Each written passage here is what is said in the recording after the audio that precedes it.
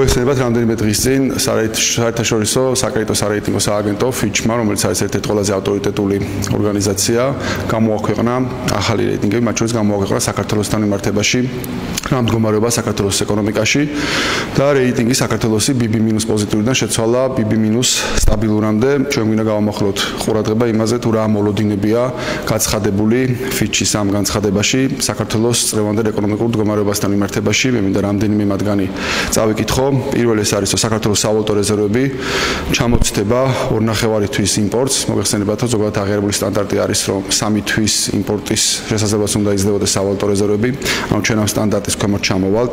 ექსპორტი შემცირდება 20%-ით რაც ნიშნავს რომ საქართველოს შემოვა კიდევ უფრო ნაკლები უცხოური ვალუტა რაც ნიშნავს რომ ეს კიდევ უფრო დააწება ეროვნული ვალუტის კურსს მიმდინარე ანგარიშის დეფიციტი გაიზრდება მთლიანი შიდა პროდუქტის 9-დან 14%-მდე წმინდა საგარეო ვალი გაიზრდება მთლიანი შიდა პროდუქტის 58-დან 80%-მდე მეთოდამდე ეკონომიკური ზრდა შემცირდება 2%-მდე და ეს კარგ შემთხვევაში თუ მოვლენები ისე განვითარდა როგორც ფიქრობენ საერთაშორისო ორგანიზაციები, თუმცა შეიძლება ამის გავარესებას მოხდეს და საერთოდ არ კონდეს წელს ეკონომიკური ზრდა.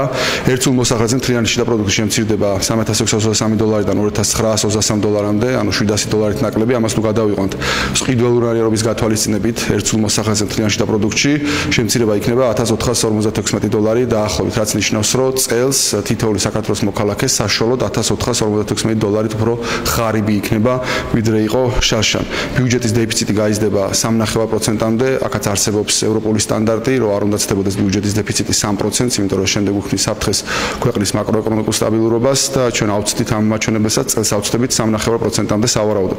და მთავრობის ვალი გაიზრდება 53%-ზე ზემოთ. როგორც ხედავთ, წელს მოსაოდნელია საქართველოს ეკონომიკური მაჩვენებლების მნიშვნელოვანი გაუარესება, ჩვენ მთელი 2 წლის განმავლობაში ვაფრთხილებდით ხელისუფლებას, რომ მათი გაუაზრებელი პოლიტიკა ამ შედეგებამდე მიიყვანდა ქვეყანას და ეს პირველ რიგში აისახებოდა მოსახლეობის ყველაზე გაჭირებულ ფენაზე. სამწუხაროდ ჩვენ არ გვისმენდნენ და ეხლა უკვე ამ პრობლემებზე ჩვენს გარდა საუბრობს ერთ-ერთი ყველაზე ავტორიტეტული საერთაშორისო საკრედიტო სარეიტინგო ორგანიზაცია. ჩვენ ხედავთ რომ ხელისუფლება დგას ხოლმე მხოლოდ კოსმეტიკურ ნაბიჯებს და არ ატარებს რეალურ რეფორმებს. საჭირო არის რადიკალური ნაბიჯების გადადგმა მათ შორის პირველ რიგში ხარჯების შემცირება მთავრობის ხარჯებს გულისხმობ გადასახადების დაწევა და რეგულაციებზე უარის თქმა თუმცა ამ ხელისუფლებას ამ ნაბიჯების გადასათქმელად არც კომპეტენცია აქვს და არც პოლიტიკური ნება და ამიტომ ეს ხელისუფლება უნდა შეიცვალოს. დიდი მადლობა.